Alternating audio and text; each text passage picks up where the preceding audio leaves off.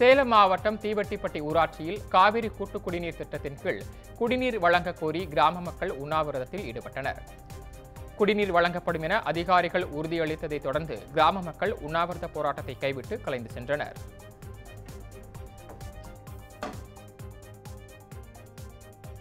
தூத்துக்குடி மாவட்டம் ஸ்ரீவைகுண்டம் அருகே வரதராஜ பெருமாள் கோவில் இடம் மீட்கப்பட்டு சீரமைக்கும் பணி தொடங்கப்பட்டது. இதற்காக ஆலயத்தின் தாசில்தார் ஈஸ்வரன் ஸ்ரீவைகுண்டம் தாசில்தார் ராதாகிருஷ்ணன் ஆகியோர் கோவில் இடங்களை அளவீடு செய்து கொடுத்தனர்.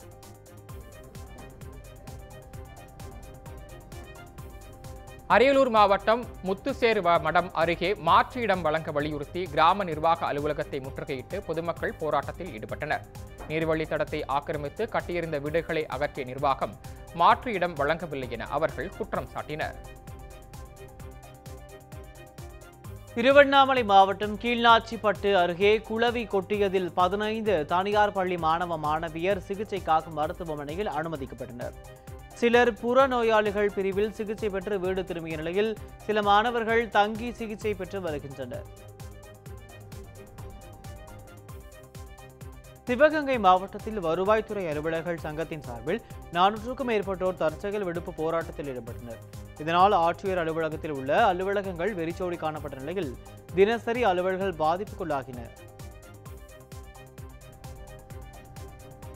விருதுநகர் மாவட்டம் நச்சாடைப்பேரி அருகே தோப்புக்குள் புகுந்த காட்டு யானைகள் மூன்று லட்சம் ரூபாய் மதிப்புள்ள முப்பதற்கும் மேற்பட்ட மா மற்றும் பனை மரங்களை ஒடித்து சேதப்படுத்தின.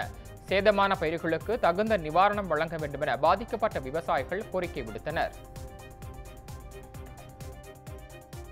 ஈரோடு மாவட்டம் கொல்லம்பாளையம் அருகே தனி தேர்வு மாணவர்களை கட்டாயமாக பேப்பர் பண்டல்கள் வாங்கித் தர உதவி தலைமை ஆசிரியர் வற்புறுத்துவதாக புகார் வந்துள்ளது. இது குறித்து பள்ளி கல்வித்துறை நிர்வாகம் நடவடிக்கை எடுக்க வேண்டும் என கோரிக்கை விடுக்கப்பட்டுள்ளது. திருநெல்வேலி காங்கிரஸ் கட்சி அலுவலகம் முன்பு ராகுல் காந்திக்கு இரண்டு ஆண்டுகள் சிறை தண்டனை விதிக்கப்பட்டதற்கு எதிர்ப்பு தெரிவித்து அக்கட்சியினர் சாலை மறியலில் ஈடுபட்டனர். போராட்டத்தில் ஈடுபட்ட பெண்களை காவல்துறையினர் கைது செய்ய முற்பட்டதால் அவர்கள் வாக்குவாதத்தில் ஈடுபட்டனர். பழைய ஓய்வூதியம் திட்டத்தை அமல்படுத்த கோரி. தென்காசி மாவட்டம் ஆலங்குளத்தில் அரசு ஊழியர்கள் கருப்பு பேட்ஜ் அணிந்து ஆர்ப்பாட்டத்தில் ஈடுபட்டனர். அப்போது அரசு ஊழியர்களின் நலன் சார்ந்த கோரிக்கைகள் பட்ஜெட்டில் இடம்பெறாததை கண்டித்து முழக்கங்கள் எழுப்பப்பட்டன.